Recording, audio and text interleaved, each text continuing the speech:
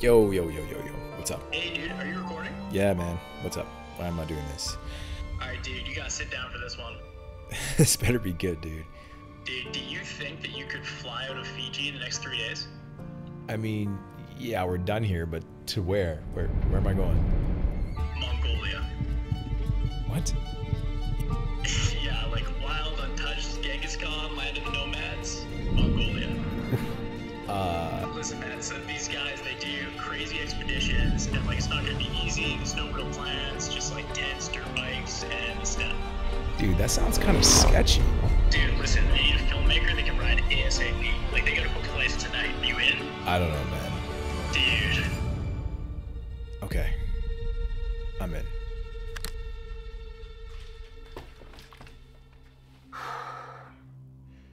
If you asked me a week ago where I thought I was going to be today, I'd say on a beach in Fiji.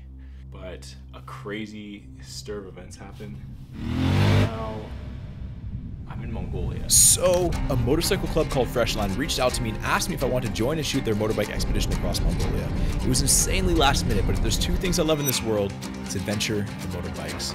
So, I went for it. And after a couple days in the city, getting to know the guys and prepping the bikes, we finally made our way to the rental shop to actually do this thing. It's go time. We have arrived at the bike place.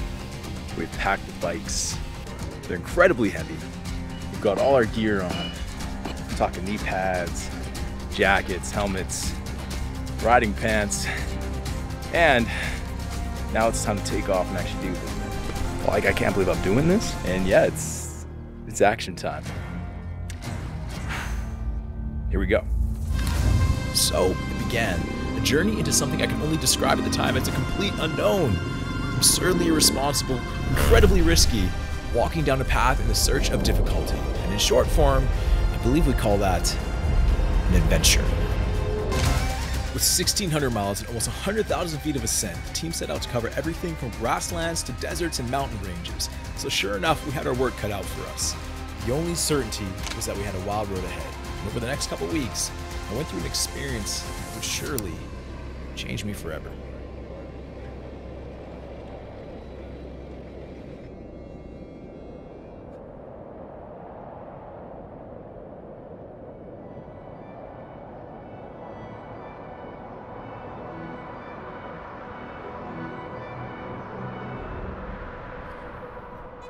I really couldn't believe what I had gotten myself into. When we set out, riding motorbikes across a dangerous terrain for two weeks, every night, setting our tents and camping wherever we found ourselves. I mean, what an incredible journey. And as the trek continued, the days began to blend. Every day, a new horizon, a destination that felt unreachable, an incomprehensible vastness that leaves you in awe. Being one of the most sparsely populated countries in the world, Mongolia gives a new meaning to the word wild. With vast skies overhead and land stretching infinite and wide, we'd finish each day setting our tents and claiming a new piece of the wild as home, building a brotherhood that you could travel to the ends of the world with. Yet, the steppe is ruthless. A terrain that truly challenges you, whether by foot, horse, or motorbike, you feel as though you are grappling with the very soul of the country itself. The terrain changing so rapidly, so frequently, a testament to Mongolia's fierce and ever changing heart. One moment you're in the grasslands riding alongside herds of wild horses, the next you're deep in the Gobi Desert side by side with camels. No tour buses, no crowded sights, as if the world left a page off its map. There are few frontiers left in this world. With calculated risks, prescribed thrills, this. This was something completely out of the ordinary a true risk,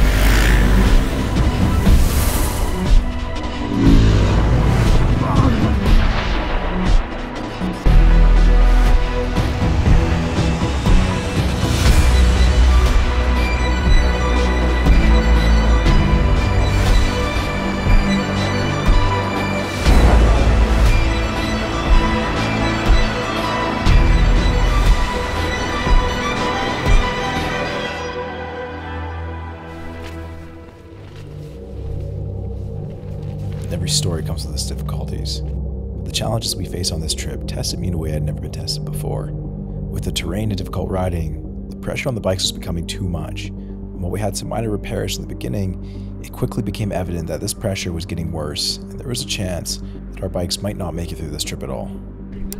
Surprise, we have another bike repair. This one is a little bit more serious than the other ones. Uh, this bike is like totally. And uh, right out of the gate, you have a bike down, and the strap is it's broken. So after a good 20 minutes of riding, we have had a breakdown. Surprise, surprise. And then my bike ran out of oil, so it's been burning oil. So basically, sounded like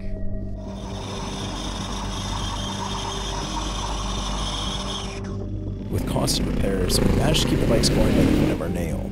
But with loosely strapped together bikes and increasingly difficult terrain, we realized that breaking the bikes was the least of our concerns. And soon enough, the challenges of this landscape started to take its toll on us. Yeah, That'll be take the initial impact, yeah, from the brace. So we got swelling right there, right there. I don't know. Not feeling awesome, but hoping that um, hoping it'll be doable. I had like a concussion, I couldn't see. My, I thought I ripped a muscle. The bike lands, front tire digs into the sand. I go over the handlebars, rolling. With the crashes getting worse, we all had to face the reality that at any point, a potentially life threatening injury could occur. And before we could even process that, it happened. Jordan, you want to do rib pressures and uh, see if he has any crinkly crackles? He's got a busted rib.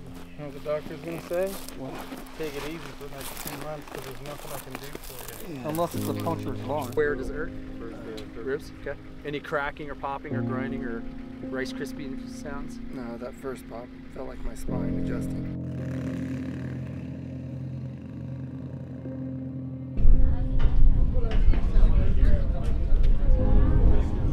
Uh, so there's a chance that he might have a collapsed lung.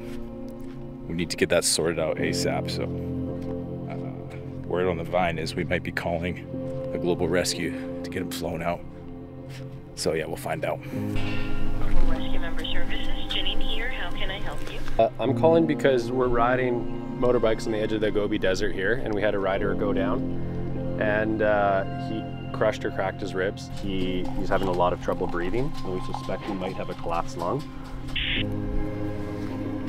Moses is in pretty rough condition, so um, if we have a better option, potentially a chopper to come in here, then we'll take that. You know, it's one of those things that although you know it can happen, you never really think it's going to. But just like that, Moses went down hard. He popped a lung, needed emergency medical attention, and had to be evacuated from the trip. It really set the tone. This wasn't just a ride on the track. I mean, this made it real to all of us. And this adventure required an immense amount of risk, and we'd have to complete it with one less brother. You definitely do go through a lot of hardships, and uh, yeah, you just deal with the problems as they come. Comes with its risks, and you really gotta want it. So, anyways.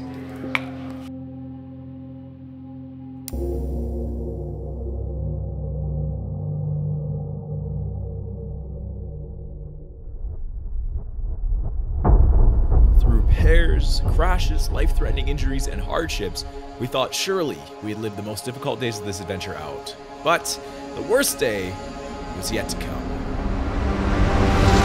We just got news that the next leg of our journey, which is the final leg to the campsite, is an absolute crapshoot. Our guide, who seems like a pretty seasoned rider, told us uh, that we're fucked essentially. So Basil's taking a stress cigarette because he knows that this is going to be an absolute mess. How are you feeling about the uh, impending climb there, Ryan? Probably gonna go badly. So, despite being ill advised by the most experienced guy we knew, What does Bazo know? The Mongolian who's been here before. we decided that no challenge was too small. So, there began the best and worst day of the adventure. Storm clouds started to billow in, and we quickly realized there was one thing we had not accounted for on this trip, and that was weather. So, as we began our ascent, temperatures dropped and tensions rose, and then came the rain. Things went from a drizzle to a pour. Hands went from cold to freezing, and as temperatures approached zero, this already challenging trail turned into a mud bath. And at this point, we were one missed turn away from losing another comrade to the steppe. And to be honest, I was stressed. I had every layer of clothing I had on, still freezing to the bone. And right when I thought things couldn't get worse, we had a major break on one of the bikes. Go down to our last backup bike. After offloading our last backup bike, we all felt the tension as we were worried that we might not make it to camp without another break. Right when I thought we had a chance, another bike breaks. And at this point, well, Sean says it best. We thought we were SOL, but um, What's SOL? shit out of luck.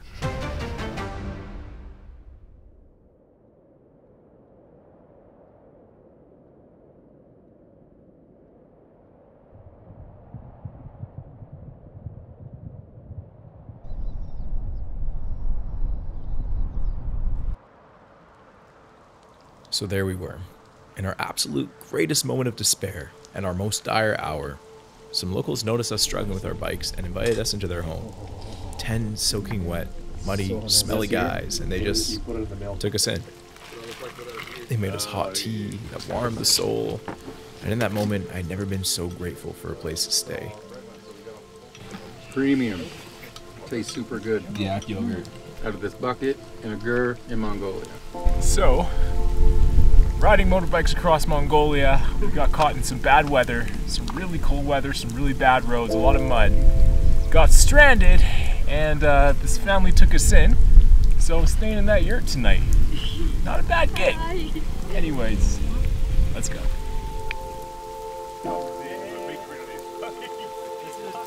So suddenly, we were sheltered, warm, fed, around good company, learning about a new culture. And somehow, our darkest hour turned into our brightest. It always seems to go that way, doesn't it? A simple reminder that only after our deepest valleys do we ascend to our greatest peaks.